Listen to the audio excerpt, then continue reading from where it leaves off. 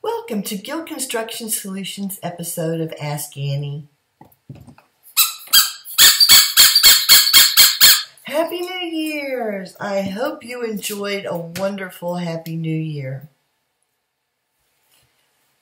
Today we're going to talk about how to prepare your space for a remodel. Now I know we've talked about what you can do to prepare um, what a remodel looks like, but today we're going to talk about how do I get that space ready?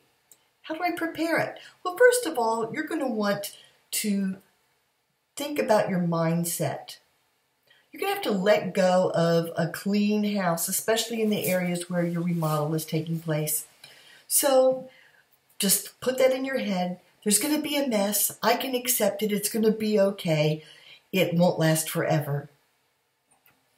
Next, you're going to want to clean and declutter. So in the space that's being remodeled, for example, if it were a bathroom remodel, you're going to want to remove as many items as possible. Empty the shelves, empty the cabinets, um, any items hanging on the walls you're going to want to remove.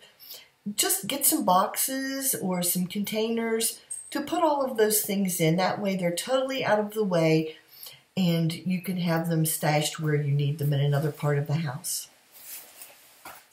Those are my two big takeaways today. If you can do that, it helps your contractor so much. They don't have to worry about moving your items. They don't have to move, worry about um, knocking into or bumping into something that could get broken that's hanging on the wall.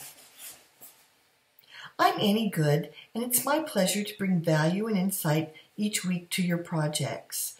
I hope this will help you prepare for your next project. Please like and share our episode today. See you next week.